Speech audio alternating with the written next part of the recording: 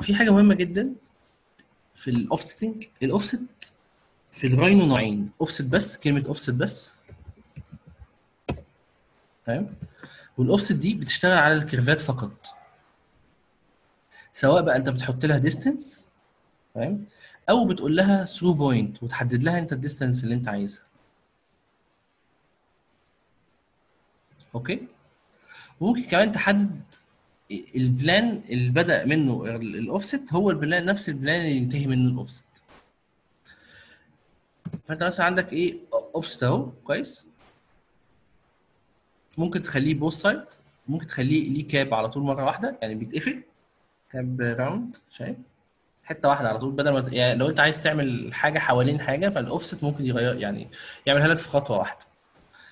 أنا معظم الوقت بشتغل بال through point دي الصراحة لأن إيه أنا أنا من الناس اللي بتحط الأبعاد كلها قبل ما بشتغل فأنا فأنا already بيبقى عندي بعد والاوفست ده بيبقى يا دوب بي snap عليه فلو أنت من هذا من هذا الطريق ماشي قشطة أنت بتحب لأ تحط actual distance فأنت بتيجي عند ال distance في الاوفست وتحطها زي ما أنت عايز.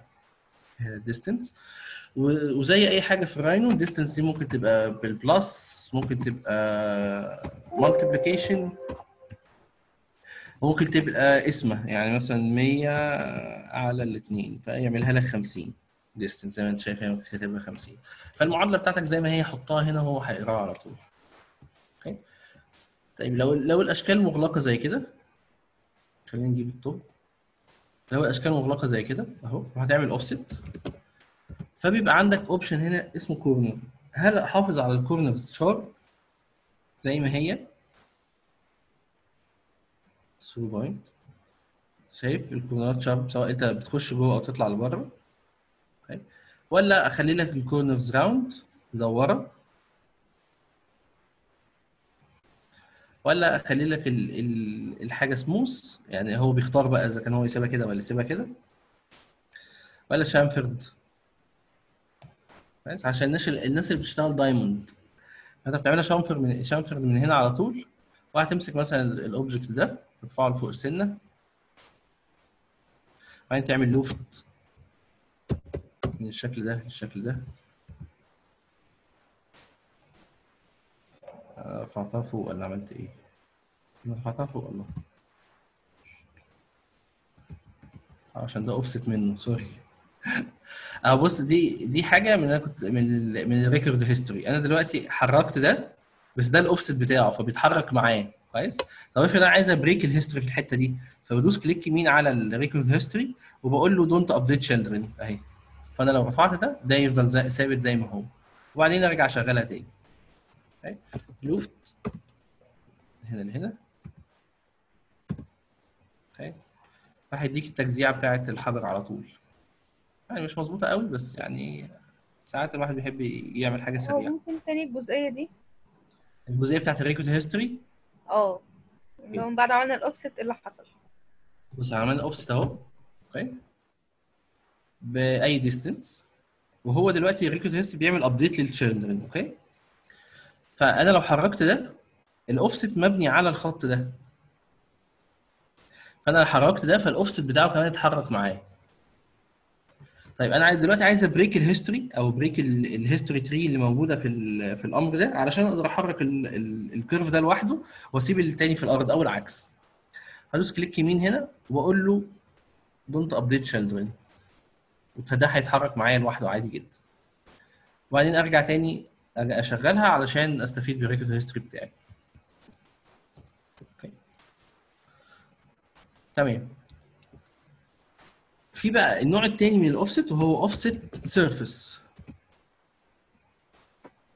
يعني أمر اوفست بس ده بيشتغل لل curve ات. عشان تشتغل على ال surface لازم تقول له offset surface تختار ال surface ده فهتلاقي في في حاجة ظريفة جدا. هو بيقول لك ال distance الشكل هل أنت عايزه يبقى مقفول ولا لأ؟ و both side ولا لأ؟ و flip. flip ده بيحدد اتجاه الاوفست بتاعك يعني ده بقى مش زي التاني يعني ده مش زي التاني. انت بتعمل through point وتروح وتيجي سواء بقى بره بره ال surface وبقى أو جوه ال surface أي surface بيترسم في الراينو ليه direction ممكن تشوفه عن طريق ال dir تكتب D I R فبيوريك ال direction بتاع ال surface ده. كويس؟ ال direction بتاع ال surface بيتحكم في ال join اللي ال surface ده بينتمي ليها.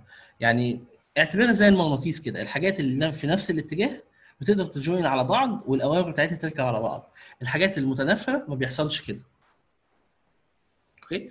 ففي بعض الأحيان دي دي نادرة الحدوث قوي. في بعض الأحيان تلاقي مثلا إيه اتنين surface عندك وال edges بتاعتهم مظبوطة والاثنين مش عايزين يعملوا join كويس؟ فهو ده السبب إن واحد فيهم اتجاهه مخالف للتاني فلازم تخليهم في نفس الاتجاه فهيعملوا join عادي لوحدهم okay؟ فإحنا دلوقتي إيه هنعمل offset surface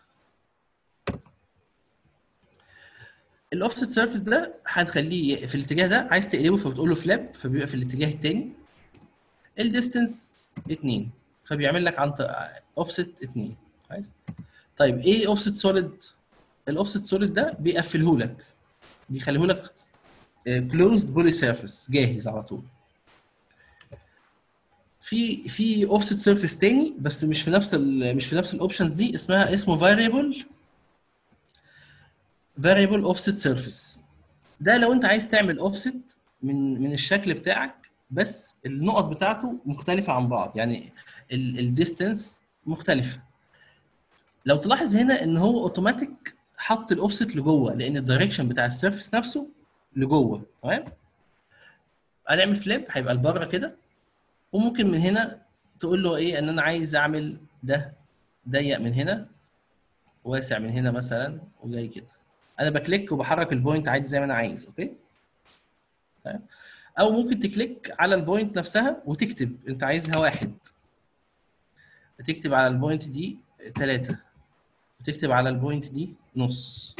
ت click على ال point وتكتب في ال command bar وتدوس enter فيطبق لك الحاجة اللي أنت عايزها. وندوس space فهيعمل لك variable offset زي ده. كويس؟ دي مفيدة في إيه؟ دي مفيدة في الورق اللي شبه بعضه الناس اللي بتشتغل اويما ده في ورق الاويما أو ورق الشجر اللي بيبقى شبه بعضه بس طالع فوق بعضه. هي أنت هو هي ورقة واحدة والباقي كله اوفست منها بس مشتركين في في البداية. يعني أنت ممكن نيجي هنا نعمل الاوفست نخلي ده على ال zero ده على ال zero كده فاهم وده لافف كده مثلا ندوس space فهيتهيأ لك إن دول طالعين من بعض. okay؟ معلش ال variable offset جبته منين بالظبط؟ بتكتبه. variable offset surface أهي. آه تمام. ده أمر لوحده مش جوه ال surface يعني. لا لا مش جوه مش جوه ال offset surface ده أمر لوحده. هتلاقيه هنا. surface tools هتلاقيه واحد من دول. أهو هو ده. variable offset تمام. تمام؟ okay. طيب. ال offset surface للاشكال المغلقه. افرض انت شكل عندك عايز تديله thickness في أمر في الراينو اسمه thickness كويس؟ هو شالوه أساسا. thickness analysis ماشي. هو شالوه. في أمر اسمه offset offset surface العادي ده. تمام؟ هيعمل لك اوفست من الشكل ده. كده. الدوران ده انت انت تقدر تتحكم فيه. إن تغير ال options دي بدل ما هي round هتعملها sharp فهيطلع لك نفس الاسطوانة بس إيه زيادة. طب افرض أنت عايز تعمل آه إزازة مثلا عندك مقفولة من فوق عايز تشيل غطا وتدي لها thickness الأمر ده بيسموه shell ال shell ده أنت ببساطة بتدي له thickness وبتشيل جزء من المنتج فهو بيشيل الغطا ده وبيدي لك thickness للشكل كله. يعني لو إحنا بصينا عليه على ال wireframe هتلاقي إدى الواحد ده على الإيه؟ على الدوران كله. دي الناس اللي بتشتغل إزاز دي إحنا بنعملها بنشتغل بيها على طول. بترسم مثلا الكوباية أو الشفشه أو تفر تسيبه مقفول من فوق بعدين تيجي تقول له shell على ال thickness اللي أنت عايزه. هو ال cap بتاع السلندر اتشال كان مفصول لوحده ولا لما اتعمل thickness آه لما اتعمل shell بقى مفصول لا هو مش مفصول أصلا هو كلها حتة واحدة هي polysurface هو بس هو ال shell بيخليكي تشيلي جزء okay. سواء واحد أو اتنين زي ما انت عايزة. okay تمام. okay؟ طيب. طيب في إيه تاني في الس... في الأوامر ال surface في حاجة اسمها move face أنا دلوقتي عندي الاسطوانة دي 20 كويس؟ وأنا عايز أخليها مثلا 30 هل بقى أمسحها وأقعد أرسمها تاني؟ لأ. لو هي شكل primary زي ده primitive قصدي زي ده. فأنت ممكن ت select على أي face بشرط إن هو يكون عدل وما تقصش منه قبل كده وتقول له إيه إن أنا هعمل move لل face ده في ال direction ده بالمسافة مثلا آه، 10 فهو هي reconstruct ال shape بتاعك بحيث إن هو يطابق على الحاجة اللي أنت عاملها بالظبط اللي أنت طلبت له منها إن هو يعمل move face okay. في أمر تاني وهو ال shear بس أنا ال shear ده يعني نادر الاستخدام جدا. يعني ما استخدموش الا مرة واحدة في حياتي ولا حاجة. shear إن أنت الناس اللي بتشتغل 2D هتبقى عارفة القصة دي. اللي هو يعمل shearing على dimension على axis معين يعني. ما أعرفش إيه فايدتها في ال 3D الصراحة. أنا ما استخدمتها غير مرة واحدة بس وكنت بعمل بيها text أصلا.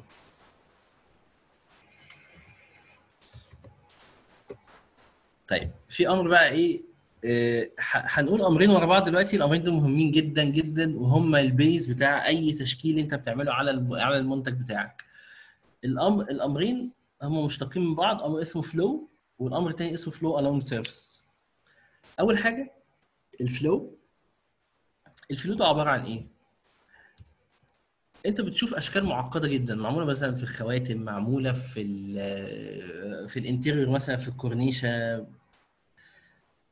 عشان ترسم الأشكال دي على سطح مدور أو على كورة أو على curve مدور أو على حاجة متصلة ببعض آه، هيبقى الموضوع صعب جدا بالنسبة لك. فأمر flow ده باختصار شديد أنت بترسم ال texture بتاعك أو ال- ال- التفاصيل بتاعتك بتاعت المنتج على ال X Y. عادي جدا. عدلة جدا زي دي كده.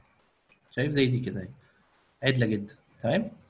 وبعدين بترسم ال pa- ال path اللي انت اللي انت عايز الشكل ده يتبعه ويمشي عليه. بس في شرطين. أول حاجة إن أنت لازم تجيب محيط الباص ده. تمام؟ وتطبقه بالظبط على قد ال- المقاس اللي أنت هترسمه. يعني خلينا نشوف. إحنا دلوقتي ال- الرسمه بتاعتنا دي فيها خط جوه تمام؟ بس الخط اللي جوه ده مش نفس مش نفس المقاس بتاع محيط الدايرة دي. فتعال نشوف إيه اللي هيحصل. هنقول له فلو فلو بس لوحدها. هنختار ال object ده تمام؟ إيه ال base إيه بيقول لك أنا عايز ال base curve بتاعك. فين ال base curve بتاعك؟ فبقول له ال base curve اللي أنا راسم عليه أهو فاهم طب أنا عايز ال target curve ال target curve اللي أنت راسم عليه أهو. هو ده اللي انت عايز الحاجة دي تروح من عليه بدلالة ال curve الأساسي اللي انت راسم اللي انت راسم عليه. فهدوس هنا كده فهتلاحظ هنا إيه؟ إن في جزء فاضي. الجزء الفاضي ده هو اختلاف المقاس ما بين محيط الدايرة وما بين طول الخط. تمام؟ لو انت ما بيفرقش معاك قوي إن إن الشكل يحصل فيه distortion فأنت ممكن تيجي تقول له إن أنا عايز أعمل stretch يعني ايا كان الخط اللي أنا راسم عليه أنت طبقه بالايه بالمحيط بتاع الحاجة اللي أنا رايح لها. فهتلاقي إن ال gap اللي كانت موجودة اختفت. بس الأصح إن أنت تعمل إيه؟ إن أنت تعمل length للخط ده وتدوس enter فهيطلع لك إن الخط ده 42.084 هتروح عامل line هنا. 42.084 كده انت متأكد ان اي حاجة هتحطها هنا وتعمل لها flow هي هتلحم مع بعض في الآخر. okay؟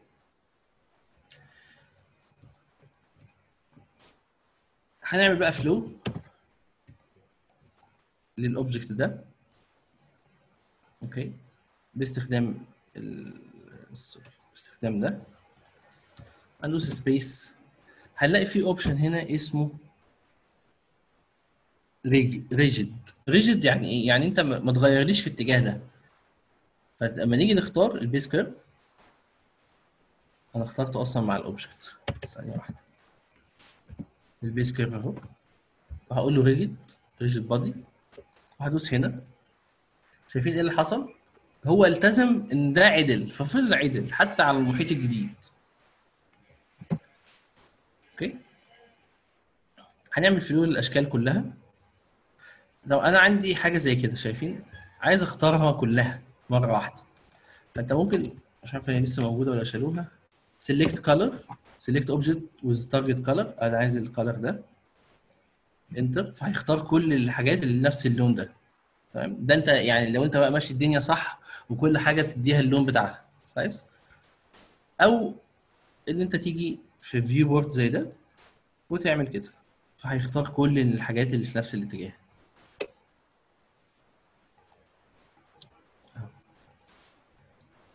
وهنقول له flow base curve أهو. ال stretch هنقفل ال rigid وهقول له preserve structure وهنشوف إيه الفرق ما بين دي وما بين التانية هندوس على ده. كويس؟ هتلاحظ هنا حاجة. أنا دوست فوق النقطة تمام؟ تعالى نعمل منها كذا copy عشان إيه؟ تبان مع بعض. هتقبل نقطة كمان. اتنين تلاتة. لو إحنا عملنا flow بال object هناخد واحد بس ال base curve ده. وجيت دوس دوست فوق النقطة. تمام؟ هتلاقي إن الكاس بتاع ال بتاع ال diamond لجوه. لكن لو إحنا عملنا كده flow sorry flow هناخد كاس تاني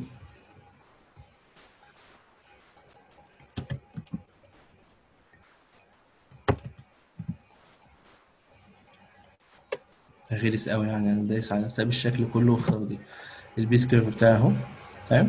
واخترت من تحت النقطة هتلاقي الكاس طالع لبره. okay؟ حتى ال curve وانت بترسمه ليه اتجاه فانت لازم تعرف انت راسم في انهي اتجاه علشان ما يحصلكش ال errors دي. فاهم الراينو بيرسم ال- الأشكال ال primitive بتاعته اللي هي الدايرة وال rectangle وال وال ellipse والحاجات دي كلها counter clockwise عكس عقارب الساعة. بتبدأ من تحت بتبدأ من عند رقم تسعة وبتلف لحد ما ترجع لرقم تسعة تاني. تمام؟ بتلف يعني 9 8 7 6 5 4 3 2 1 12 11 10 9 كويس ده اتجاهها. أما في الاتجاه العدل اللي هو زي ده فهو بيرسم من الشمال لليمين في اتجاه ال positive X يعني أنت لو الشكل بتاعك ده بيقع في positive X و minus X فأنت أنت كده عملت مشكلة في الاتجاهات فهتضطر إنك تجرب كذا مرة. فخلي بالك وأنت بترسم يعني. وهي بتيجي مع مع التجربة بتبقى أنت فاهم إيه اللي هيحصل يعني. كويس؟ طيب إحنا دلوقتي عملنا إيه؟ preserve local لو هتلاحظ إن ال ال الكاس ده حصل له deformation شايف بقى ellipse ما بقاش اسطوانة. بالرغم إن هو هنا اسطوانة. كويس؟ طب دي بتتعالج إزاي؟ هنا في حاجتين بقى. أول حاجة إن أنا آه، هعمل flow لل object ده الأول. تمام. وهقول له local yes خلينا نعملهم مع بعض. ده. وده وهنا وهقول له local yes وهدوس.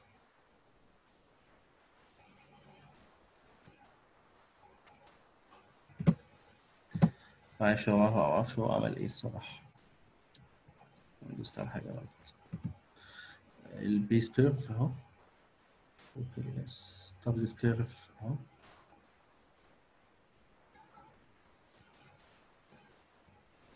second radius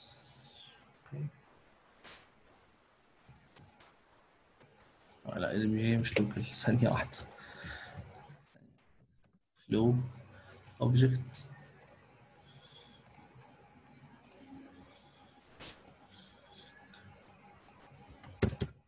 آه sorry إحنا هنا هنحتاج نعمل اتنين flow flow ده لوحده. ده. عادي. okay و flow ده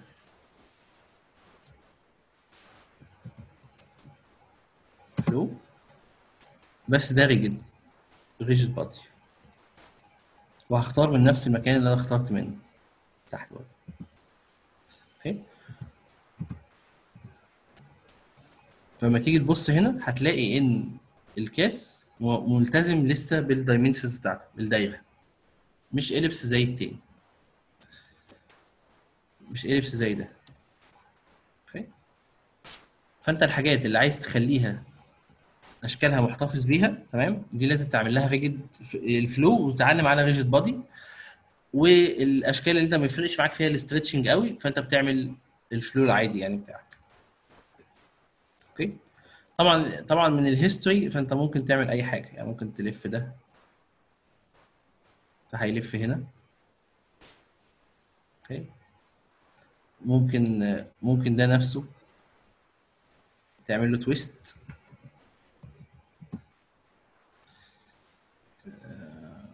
ده إكس صعب قوي إن أنا أجيبه لك يعني. بس ماشي. أهو. طيب angle reference